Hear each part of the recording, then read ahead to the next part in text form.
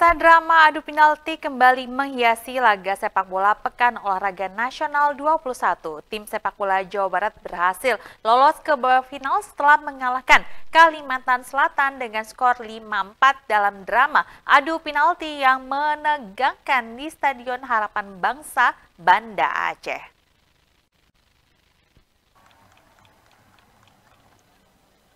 Sebelum memasuki perpanjangan waktu dan akhirnya adu penalti, permainan di babak pertama tim Jawa Barat sangat kesulitan menembus pertahanan Kalimantan Selatan. Di babak kedua kembali tim Jawa Barat menusuk dari kiri lawan namun pertahanan Kalimantan Selatan memang sulit ditembus. Tembakan dari luar kotak penalti pun masih bisa dimentahkan bek Kalimantan Selatan. Memasuki perpanjangan 2 kali 15 menit, kedua tim masih imbang dengan skor 0-0.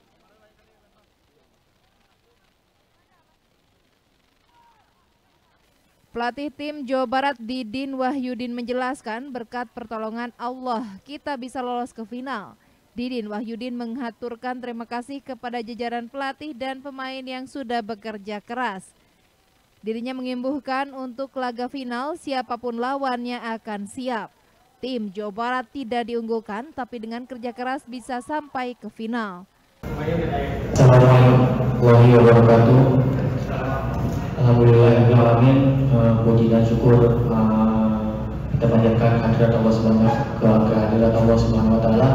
Alhamdulillah atas izin Allah kami tim Jawa Barat bisa berhasil masuk ke babak final yang ditunggu-tunggu. Kami akan berjuang semaksimal mungkin untuk bisa memberikan yang terbaik nomor satu untuk Jawa Barat Insya Allah kami akan lebih mempersiapkan lagi secara fisik dan mental untuk uh, laga final nanti.